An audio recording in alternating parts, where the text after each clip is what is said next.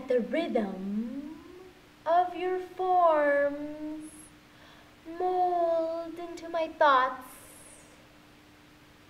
and the curves of my tongue.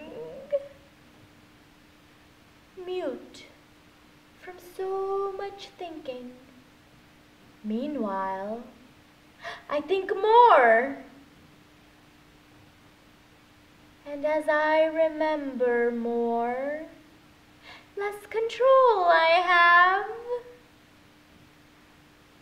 And in the art of silence,